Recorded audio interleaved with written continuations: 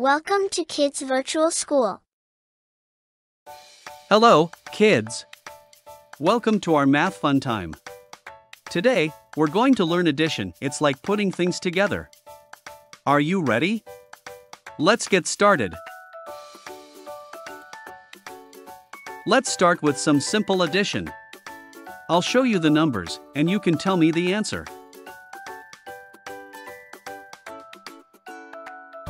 Hmm. What's 2 plus 1? Let's count together. 1, 2. And one more makes? Yes. 2 plus 1 equals 3. Great job. Next one, 3 plus 2 is equal to 5.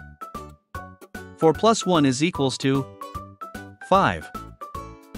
5 plus 2 is equals to 7. 1 plus 1 is equals to 2. 5 plus 1 is equals to 6. 2 plus 2 is equals to 4. 1 plus 3 is equals to 4.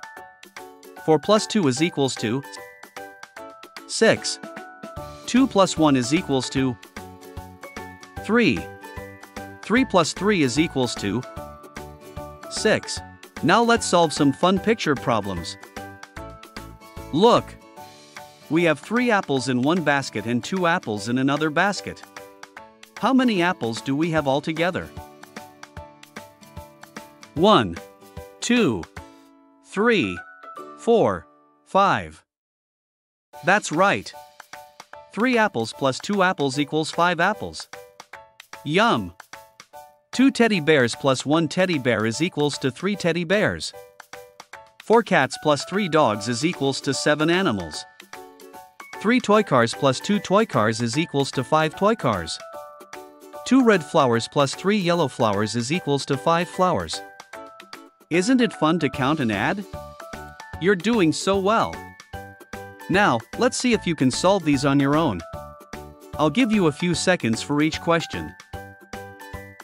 6 plus 1 is equals to.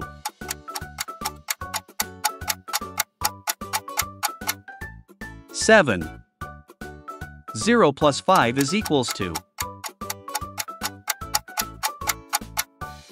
Five. Two plus three is equals to. Five. Four plus four is equals to. 8. 1 plus 5 is equals to 6.